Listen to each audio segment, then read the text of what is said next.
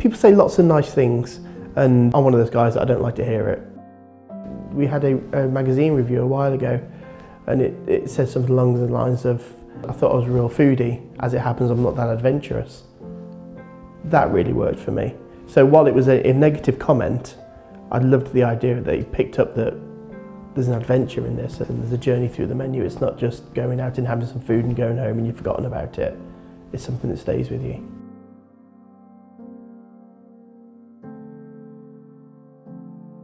While Shropshire Restaurant started as pop-ups, um, it was a little bit nomadic when we started. You know, we went to different venues, and the idea was always that we do a an ever-changing menu. You know, a, a menu that we talk about. You know, using seasonal produce.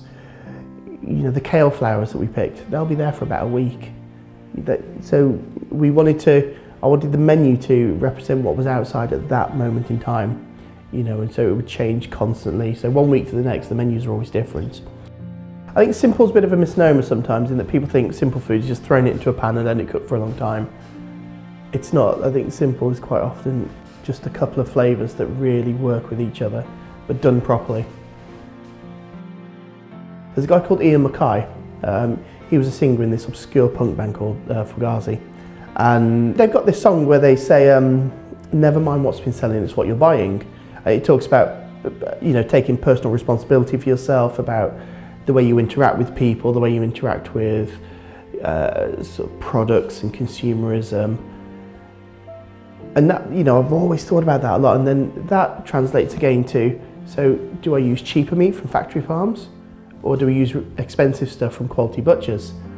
Do we buy cheap ingredients that have been flown in, or do we go spend the time foraging our ingredients and growing our own? And while there's not as much margin as money to be made on the expensive meat and the expensive ingredients, there are, there are other benefits to that and that certainly comes from that way of thinking that I got from that guy. We've got a nice cannon and lamb. Uh, this dish is a little bit fresher than the beef dish, so it's going, uh, you know, it's not a fatty cut of lamb I'm using. So we're doing a cannon of lamb, we're going to sear it nicely, just cook it nice and medium rare all the way through. So we're going to take a raw swede, put it through the Japanese mandolin, so we get some nice sheets, some fresh foraged herbs, and we're going to make a little sauce out of some lacto-fermented koji with some buttermilk. I'm a big fan of not cooking vegetables. I think the moment you cook things a lot of the time, you, you, you take away all, all what's brilliant with them. Lamb, hot pan, lots of butter, keep turning it and colouring it until you get nice and medium rare all the way through. Rest it nicely. I'm going to brush mine with a little bit of birch syrup and then just give it a little bit more heat. Probably do it with a blowtorch if, you know, if we, that make it really nice. With the sauce, we're going to take the lacto-fermented koji and we're going to blitz some butter into it, maybe a little bit of buttermilk whey as well. Again, we go back to the provenance of the meat and how good the farms are and the, you know, the QSM and whatnot the meat has got to be of a very, very high standard or it's not good enough. And we've got to do enough to respect that piece of meat as well because it's been through those same steps.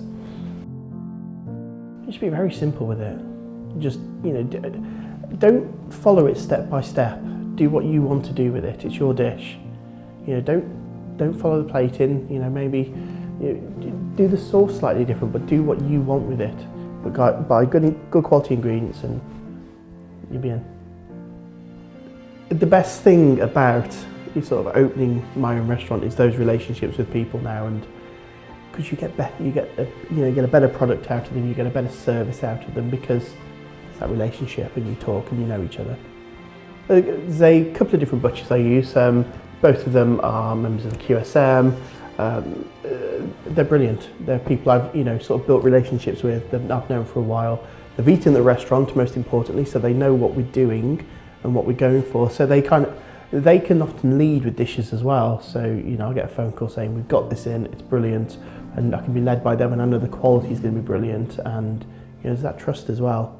You know, I trust them to give me a brilliant product, and they trust me to, well, not screw it up.